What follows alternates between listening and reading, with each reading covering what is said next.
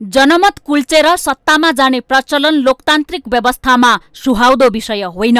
तर हाम्रो देशमा चुनाव हारेका नेताहरू किन सत्तामा जान मरिहत्य गर्छन् कसैले बुझ्न सकेको छैन। दुई हजार चौसठी सालमा भएको संविधान सभा निर्वाचनदेखि दुई हजार चौहत्तर सालमा भएको पछिल्लो निर्वाचनसम्म पनि हारेका नेताहरू पदमा जान लालायित देखिए। सामान्यतया निर्वाचनमा हारेपछि नैतिकताको आधारमा जनताको मतको सम्मान गरेर अर्को चुनावसम्म पदमा जान मिल्दैन। जनताबाट अनुमोदित नहुनेहरूले मलाई पदका लागि जनताले योग्य सम्झेनन् भनेर बुझ्नुपर्ने हो। तर चुनाव हारेकाहरू विभिन्न ढोकाबाट राज्यका पदमा आसीन भइरहेका छन्। निर्वाचन हारेकाहरू गणतन्त्र स्थापनापछि मुलुकको प्रधानमन्त्रीदेखि राष्ट्रिय सभाको सदस्यसम्म बनेका छन्। एमाले नेता माधव कुमार नेपाल दुई हजार चौसठी सालको निर्वाचनमा दुई दुई स्थानबाट चुनाव हारेर पनि देशको प्रधानमन्त्री बने। एमाले नेता वामदेव गौतम चुनाव हारेरै माओवादी अध्यक्ष पुष्पकमल दाहाल प्रचण्ड नेतृत्वको सरकारमा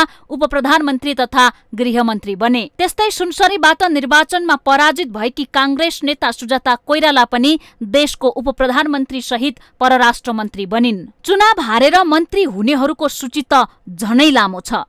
लोकतन्त्रमा जनमतको ठूलो अर्थ हुन्छ। तर आफूलाई लोकतन्त्रको हिमायती ठान्नेहरू नै जनमतलाई लत्याउँदै सत्ता र शक्तिमा जान खोज्नु कहाँको लोकतन्त्र हो? यसको जवाब स्वयं उनीहरूसँग पनि छैन। त्यसैले देशका दिग्गज व्यक्तिहरू जानुपर्ने राष्ट्रिय सभामा कि चुनाव हारेका नेताहरू छन् कि त पार्टीले पद व्यवस्थापन गर्न खोजेकाहरूको संख्या अधिक छ। दुई हजार चौहत्तर सालको निर्वाचनमा गोर्खाबाट डाक्टर बाबुराम भट्टराईसँग पराजित भएका माओवादी प्रवक्ता नारायण काजी श्रेष्ठ अहिले राष्ट्रिय सभा सदस्य छन्। दुई हजार चौहत्तर सालकै निर्वाचनमा बर्दियाबाट पराजित भएका नेकपा एमालेका नेता वामदेव गौतम त प्रधानमन्त्रीकै आकांक्षी थिए। त्यो माहौल नबनेपछि गौतम अहिले राष्ट्रिय सभा सदस्य छन्। कहिले डोल्पा कहिले रुकुम पूर्व त कहिले काठमाडौँबाट उपचुनाव लड्ने तयारी गरेका गौतमलाई उपनिर्वाचन गरेर जिताउन निर्वाचित सांसदले समेत सांसद पदबाटै राजीनामा दिएका थिए तर पछि फिर्ता भयो।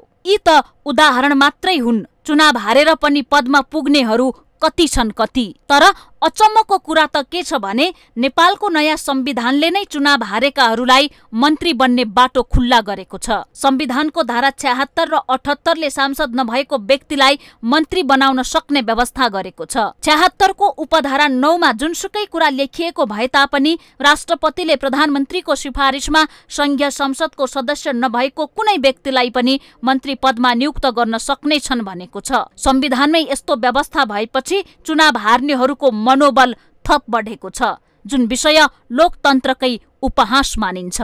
हारेकाहरूलाई माननीय बनाएर पार्टीको विवाद समाधान गर्न खोज्ने नेतृत्व पनि यसका लागि उत्तिकै दोषी छ किनकि जनताले दिएको भोटको खास अर्थ छ। नेताहरूको गुट र मन मिल्दैमा जनताको भोटको अर्थ नै नहुने होइन।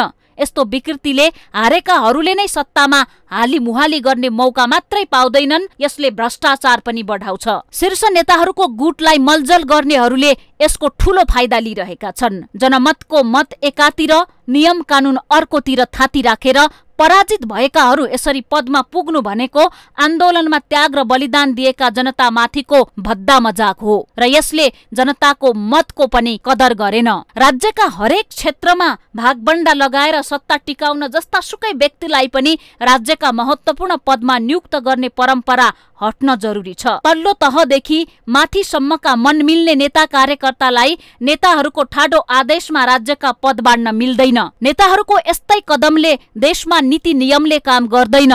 सर्वत्र ठेकेदार र बिचौलियाहरूको रजगज र निर्णायक भूमिका छ। हरेक तह तब्कामा सरकारी नियुक्तिका पदहरू खुले आम मोलमलाई हुनु देशको दुर्भाग्य हो।